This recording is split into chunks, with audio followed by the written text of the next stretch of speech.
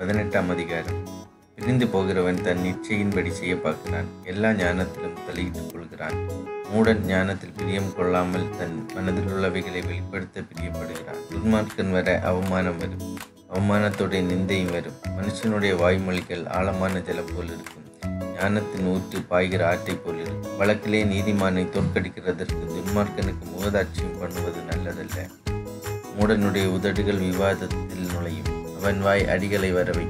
மூடனுடைய வாய் அவனுக்கு கேடு. அவன் உதடுகள் அவன் ஆத்மாவுக்கு கண்ணி கோல்காரனுடைய வார்த்தைகள் விளையாட்டு போல் இருக்கும். ஆனாலும் அவைகள் உள்ளத்தில் தைக்கும் தன் வேலையில் அசதியாய் இருப்பவன் அலிம்பனுக்கு சகோதரன். கர்த்தர் நாமம் பலத்த துருக்கம் நீதிமான் அதற்குள் ஓடி சுகமாயிருப்பான். ஐஸ்வர்யவானுடைய பொருள் அவனுக்கு அரணான பட்டணம். அது அவன் எண்ணத்தில் உயர்ந்த மதில் போல் இருக்கும். அழிவு வரும் முன் மனுஷனுடைய இருதயம் தாறுமாறாயிருக்கும். மேன்மைக்கு முன்னானது தாழ்மை. காரியத்தை கேட்கும் முன் உத்தரம் சொல்லுகிறவனுக்கு அது புத்தியினமும் வெக்கவுமாயிருக்கும் மனுஷருடைய ஆவி அவன் பலவீனத்தை தாங்கும். முறிந்த ஆவி யாரால் தாங்கக்கூடும்?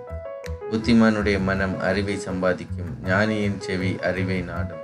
ஒருவன் கொடுக்கும் வெகுமதி அவனுக்கு வழியுண்டாக்கி பெரியோர்களுக்கு முன்பாக அவனை கொண்டு போய்விடும். தன் வழக்கிலே முதல் பேசுகிறவன் நீதிமான் போல் காணப்படுவான். அவன் அயலானோ வந்து அவனை பரிசோதிக்கிறான். தீட்டு போடுதல் விரோதங்களை ஒழித்து பலவான்கள் நடுவே சிக்கறுக்கும் அரணான பட்டணத்தை வசப்படுத்துவதை பார்க்கிலும் கோபம் கொண்ட சகோதரனை வசப்படுத்துவது அரிது. அவர்களுடைய விரோதங்கள் கோட்டை தாழ்பால்கள் போலிரு அவனவன் வாயின் பலனால் அவனவன் வயிறு நிரம்பும். அவனவன் உதடுகளின் விளைவாய் அவனவன் திருப்தியாவான். மரணமும் ஜீவனும் நாவின் அதிகாரத்தில் இருக்கு. அதில் பிரியப்படுகிறவர்கள் அதன் கனியை புசிப்பார்கள். மனைவியை கண்டடைகிறவன் நன்மையானதை கண்டடைகிறான். கர்த்தரால் தயவும் பெற்றுக்கொள்கிறான். தரித்திரன் கெஞ்சி கேட்கிறான். ஐஸ்வர்யான் கடினமாய் பத் ஐஸ்வர்யான் கடினமாய் உத்தரவு கொடுக்கிறான். சிநேகிதர் உள்ளவன் சிநேகிதம் பாராட்டவேன் சகோதரனிலும் அதிக சொந்தமாய் சிநேகிப்பவனும் உண்டு. ஆமேன்.